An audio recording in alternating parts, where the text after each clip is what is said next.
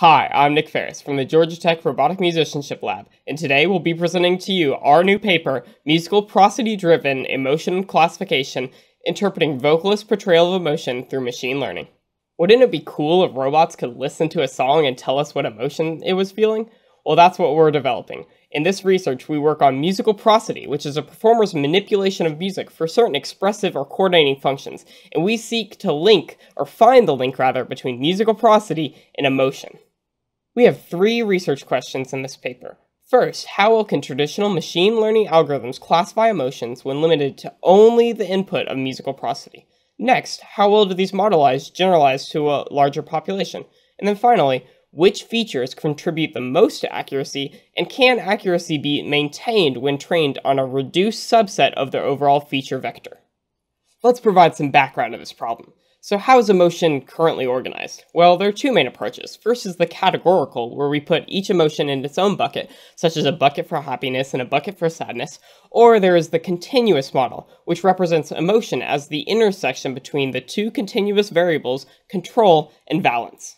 But how is emotion classified currently? Well, current emotion classification models are usually based off metadata filtering and on verbal features.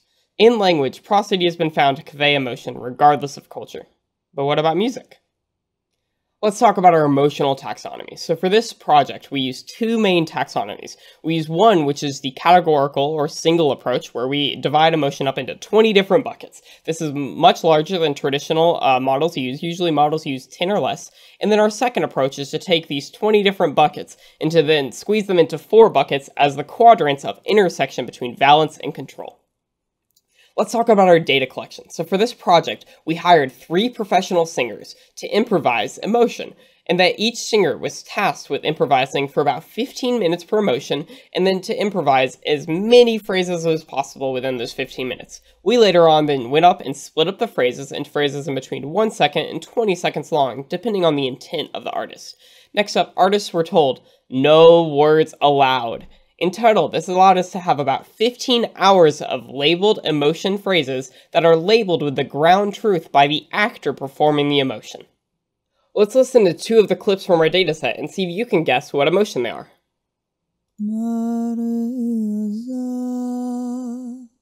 So what do you think? I'll give you the answer in five, four, three, two.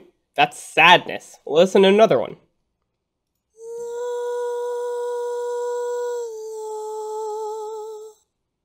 Hmm, what do you think? I'll give you the answer in three, two, that one's love. After we generated our dataset, we had to extract the features. So we extracted features using a, a Python library called PyAudioAnalysis. In this, you can see our short-term feature list over here, and then you can see how our features were aggregated into the overall feature vector used in training right above. In experiment one, we train and evaluate KNNs, linear SVMs, random forests, extra trees, and gradient boosting machine learning models, and restricted these models to only a single singer's feature vectors. Over here, you can see our confusion matrix for our 20 bucket taxonomy. Notice how along the diagonal, you'll find the correct prediction of the ground truth being predicted by the model. Above me, you can see the accuracies achieved by these models for the single taxonomy and for the Big Four taxonomy. Notice how the single taxonomy is able to achieve an accuracy of 49% with the SVM, which is 10 times better than random guessing, which would be 5%, and how the Big Four taxonomy is able to achieve accuracies as high as 67% when determining between the four quadrants of valence and control. In Experiment 2, we took the architecture from Experiment 1 and expanded it to use three singers as opposed to just a single singer. With this, we expected to see a slight drop in accuracy as we're adding variation to our data. But in spite of this, we saw most models maintain accuracy when expanding to a larger population. These results are very encouraging as some models, such as gradient boosting under a Big Four taxonomy, even increase accuracy when adding this variation, thus showing the ability for musical prosody to generalize to a larger population. In experiment 3, we analyzed the model performance when training on a reduced subset of our overall feature vector, and we do this using a single emotional taxonomy. We implemented additive feature selection such that a single feature is trained, and then the eh, out of all the features, whichever feature has the highest accuracy is added to our permanent feature list. And then this process is repeated until we've used every single feature. In total, this means we had to train approximately 9,316 networks. To do this, we had to abandon the original traditional machine learning algorithms in favor of feed-forward neural networks. That way we can use GPU vectorized algebra. As seen in this table, after just the first 25 features, we were able to achieve an F1 score of 45, and after just the first 4 features, which are aggregations of Spectrum Rolloff in MFCC7, we were able to achieve an F1 score of 20, which is extremely encouraging to developing models based on reduced feature subsets. Our models were the best at classifying fear, joy, and relief, and performed the worst when trying to classify pleasure and admiration.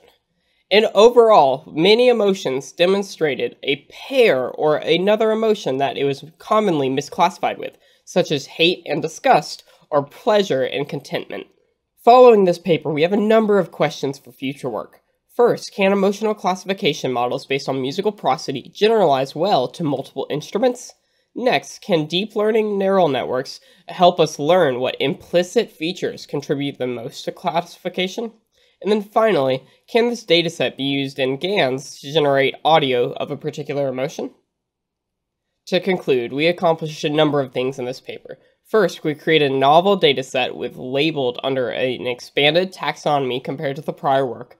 Next, we achieve, or we demonstrate rather, that traditional machine learning models can achieve high accuracies in classification when restricted to only the features of musical prosody. Next, we show that these results generalize well to a larger population by including multiple singers. And finally, we demonstrate that these same results can be retrieved when training on a reduced subset of their overall feature vector using approximately 25 of the total 136 features. If you're interested in more details, check out our full paper, link in the description below. Thanks for watching, and happy developing!